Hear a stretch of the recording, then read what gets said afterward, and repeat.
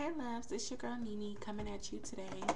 Um, I know it's late, but I figured with the weekend coming up, um, I might as well do one of the requests in my inbox. And one of the requests that I had was a brown smoky eye, something that had a little bit of fun to it, but wasn't too overwhelming, so that you could wear it to school or maybe to work or you know maybe lunch out with the girls or your boyfriend or something like that. Something that you can easily take into the nighttime. So this is the look that I'm going to be doing for you guys today. As you can see, it has a little bit of smokiness to it, but nothing too overwhelming at all. So what we're going to do is we're going to go ahead and start the lid. Now, because it's nighttime, and of course, I'm not going to go anywhere, um, I'm not going to be doing um, a like primer potion or anything on my eyelid because I'm gonna wash this all off. But just go ahead and use your whatever you use your eyeshadow primer. Um, whether you use Smashbox or Shadow Insurance. I prefer Shadow Insurance, but let's go ahead and do that and just put it all over the lid. And as soon as you're done doing that, go ahead and take your paint pot. And this is in groundwork. And you can use your fingers, but I'm just to use this brush. You can just use like a concealer brush if you want to use a brush. And just apply groundwork all over the lid. Make sure it's really smooth and even. Okay. Oh, and by the way, this is a really quick look too. So, perfect for like when you're running out the door. Okay, got that all over the lid. Now what you're gonna do is you're gonna go ahead and do your highlight. And I'm going to take my MAC 214 and I'm using my, now I got this off of eBay. It doesn't have a name to it, but it's a neutral it's like a neutral palette. It's the neutral 88 palette. I believe it's still by Manly, but it doesn't say Manly on the front. But it's a neutral palette, I think, with 88 colors in it. And I'm just going to be taking like a soft, kind of coppery brown color. This one right here. And go ahead and do my highlight.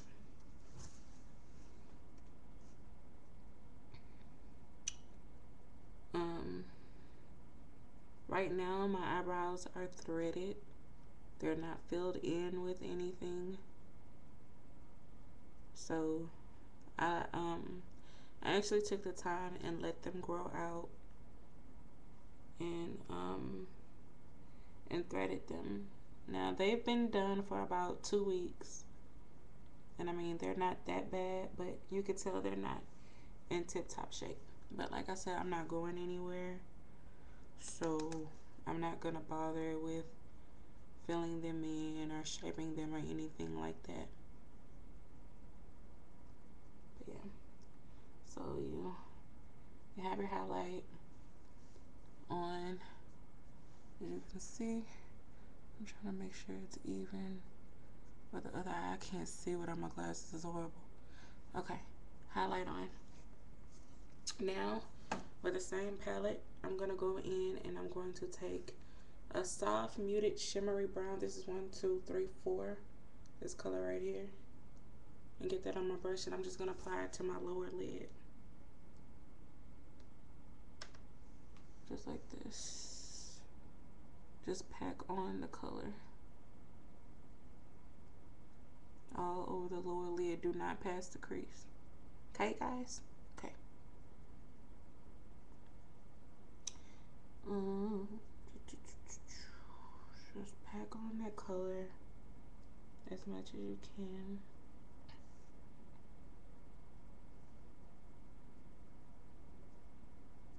I mean, of course, you you um you pack it on as heavy or as light if you want to, but I really want to get this color on just because I said, you know, it's a it's a soft muted brown, so I really want the color effect of this. just a little bit more.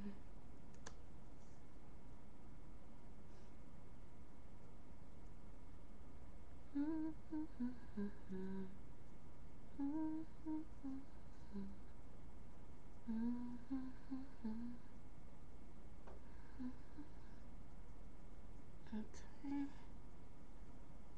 Uh, I believe that's I believe that's good. Just a little bit more because I really want the concentration on the lid. Okay. Alright. Okay. Now, going in with my MAC 222. I'm going to take like a brownish burgundy color. If you have the same palette as me, I'm going to be using this color right here.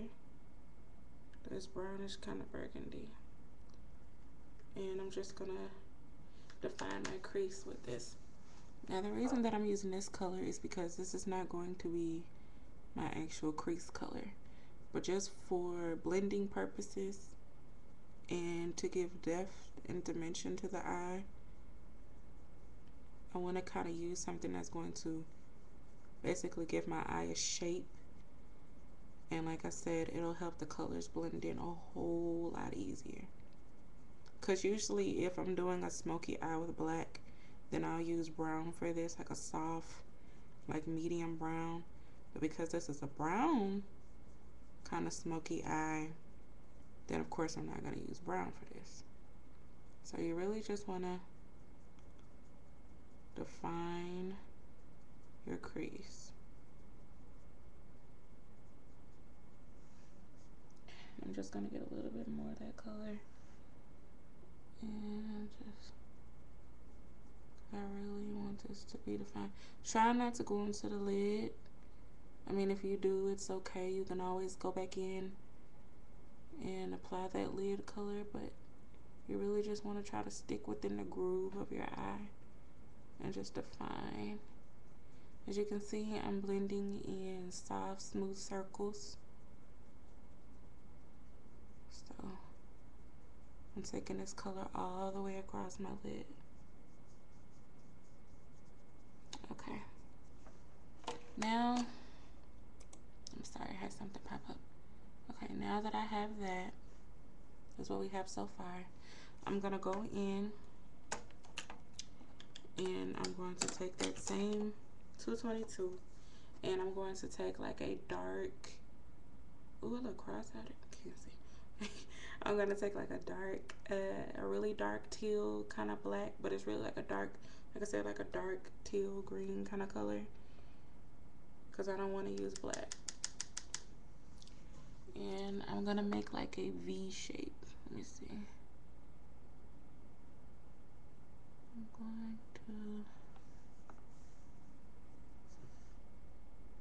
You know how you kind of like wing out your eyeliner? Do like that and then go up and then just fill in that little area right there as you can see we got like a really nice V kind of going on right there and then we're just gonna go back in and fill in that V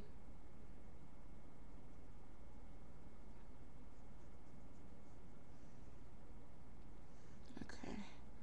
And now that we have it filled in, we're just gonna go ahead and blend it out. Now, I'm not gonna bring this color all the way across the lid. I want this to stay in the corner because this is a daytime look and I don't want it to be too dramatic. So I'm just blending in really little circles and I'm staying in that outer area. I'm not going to bring this all the way over. No. And just blend, blend, blend, blend, blend. Add more if you need to. Always start out with a little bit because it's always easier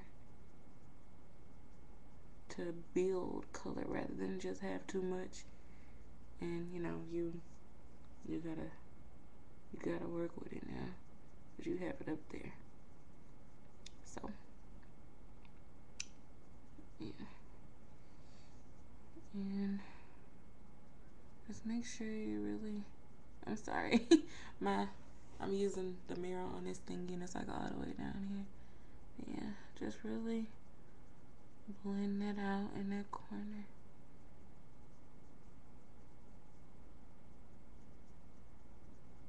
Okay, just keep blending out.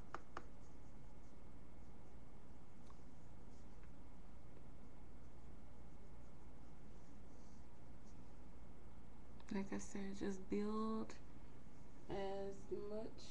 Sorry, I gotta look. just build as much as you as you need or as you want. And it's okay if it's if it's not exactly um the neatest right now because we're gonna go back and clean it up later on. So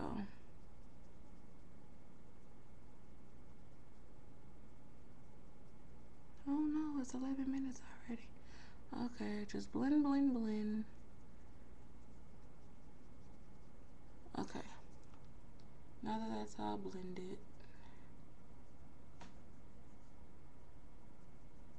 okay, you just want to go in with a with a slanted eyeliner brush with that same color and just line your upper eyelid. Now you can wing it out if you want to, or you can just keep it straight. However you usually do your eyeliner, just do it like that. But remember, this is meant to be a soft, sexy, smudgy look. So your eyeliner doesn't have to be perfect. That's why I preferred to use um, a shadow. So it just wouldn't be too perfect. Okay, and now that I have that done, I'm gonna go with my mascara.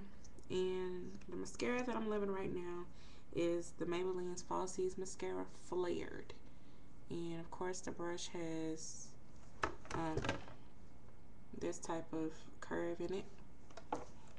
Like I said, I'm not going anywhere, so I'm just, usually I take my time and really just apply my mascara, but I'm just gonna do it like this for you guys.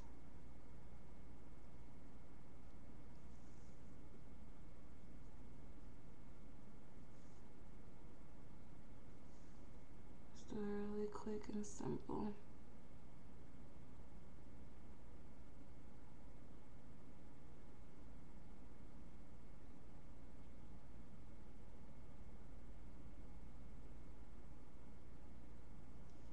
Okay. And like I said, right now my eyebrows are threaded and my eyebrows are like within the two week range of being threaded. I really don't feel the need to fill them in because like I said, I let them grow out. So I'm just going to brush my brow. But especially because it's a daytime look. You don't want to have too harsh of a brow. But yes, um, this is the finished look. Um, I hope you guys really liked it. Um, right now on my foundation, I'm using the the Revlon um, Color Stay Foundation in Cappuccino. And what I did was I cleansed my face. I moisturized it and I used the Makeup Forever Fix and Perfect makeup spray. I sprayed like three sprays on my face just to get it, you know, ready for blending the foundation out. And I took my MAC 129 and I just dabbed the foundation on. I like that. I didn't put any kind of powder or anything on top, just like I said. I'm just doing this tutorial for you guys. I'm gonna wash all this off anyway. But um, as far as blush goes, if you're using MAC, you could do Ambering Rose. If you're going to use NYX, then I would do like Champagne, I think it's called. And as a highlight, if you want to do something a little extra, I prefer if you're going to use Ambering Rose, then use Champagne as a highlight. Or my favorite is Orgasm by MAC. Um, if you want to do a contour, you know, do like a little deeper blush color or a deeper foundation color lips, you can do like a soft mauve y'all know how I feel about nudes with everything. I don't I don't want people to get stuck thinking that they have to use nudes, you know. But of course a nude would be pretty, but it use like soft mauves, champagnes, honeys, anything within the